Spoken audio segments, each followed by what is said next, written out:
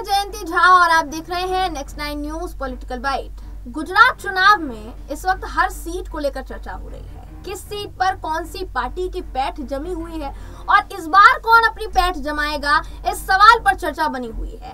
इस बार भी चर्चा हो रही है ये इस बार जो चर्चा है दोस्तों, ये एक सीट को लेकर हो रही है और वो है सोमनाथ सीट जी हाँ दोस्तों, सोमनाथ सीट के लिए देखिए कहा जाता है कि सोमनाथ सीट एक ऐसी सीट है जिस पर बेशक भाजपा बार बार प्रचार प्रसार करती है, लेकिन, और वो सीट जो है, भाजपा के इतिहास से भी जुड़ी हुई है, रथ यात्रा से जुड़ी हुई है।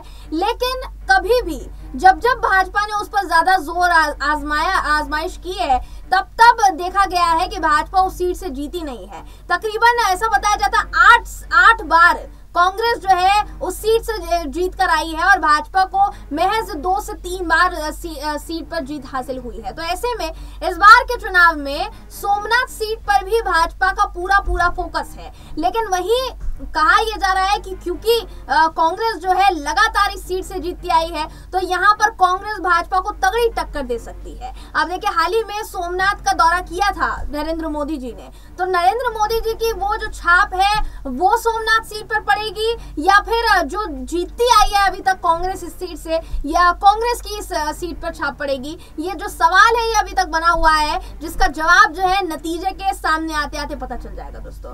बहरहाल, इस खबर पर आपकी राय क्या है, कमेंट करके ज़रूर बताइएगा। वीडियो अगर आपको पसंद आया हो तो वीडियो को लाइक और शेयर करना ना भूलें। फिर मुलाकात होगी आपसे किसी ऐसी ही खबर के साथ, तब तक के लिए नमस्कार।